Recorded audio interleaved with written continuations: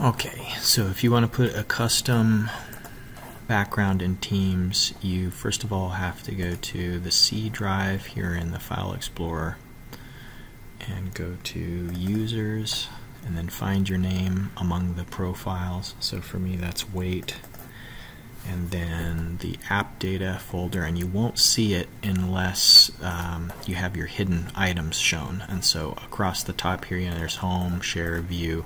Make sure that the hidden items are turned on. Otherwise you wouldn't see app data. So it's kind of faint because it's not normally shown. But we're going to go into the app data and then find the roaming.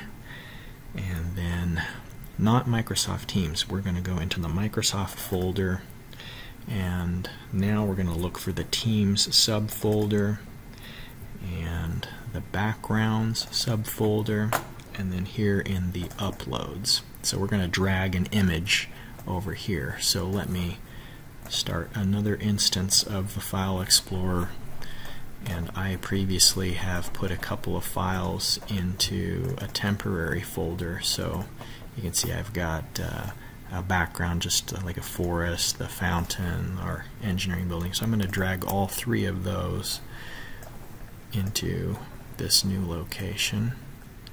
So I'm moving them there. Alright, so now, alright, so open up Teams.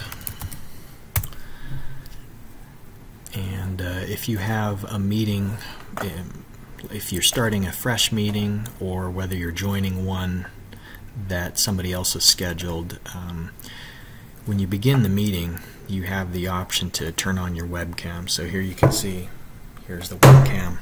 But in these more actions, the three dots there, it brings up the background effects. So if you turn on the background effects and browse down, you'll see that some of the pictures that are available at the bottom of the list are those custom pictures that I just put in. So if I click one of those and then apply it, you can see now it's changed the background to the custom images that I added. Now the unfortunate thing is that it's not going to remember this. If you have to come back to the meeting another time, you have to load that background in effect. So it, it's not sticky or persistent.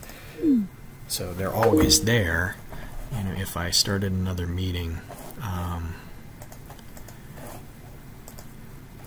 so I'm going to join and uh, I'll go ahead and turn on the camera. So it's my back to my normal background and if I want to have that different background then I would have to turn on the background effects and pick the picture that I want to have and apply it. But now, now I've got it. So hopefully that shows you.